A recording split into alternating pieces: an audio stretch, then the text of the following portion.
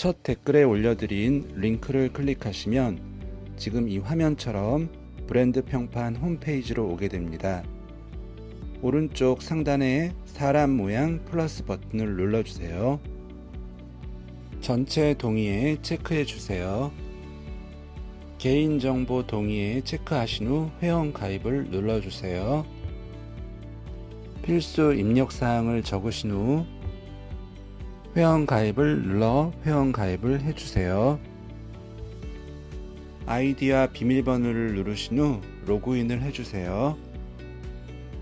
로그인을 하시면 홈페이지 상단에 사람 모양이 톱니바퀴로 바뀌게 됩니다. 오른쪽 상단 3선 줄무늬를 눌러주세요. 왼쪽에 랭킹을 눌러주세요. 아래로 쭉 내려서 가수 브랜드 평판 8월 랭킹을 눌러주세요.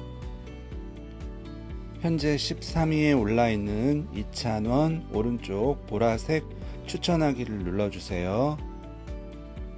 처리되었습니다. 확인을 눌러주세요.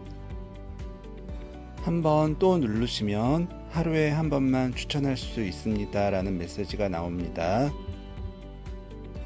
다시 오른쪽 상단 3선 줄무늬를 눌러주세요.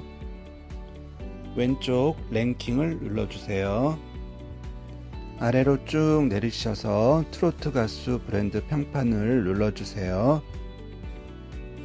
현재 4위에 올라 있는 2,000원 오른쪽 보라색 추천하기를 눌러주세요. 처리되었습니다. 확인을 눌러주세요.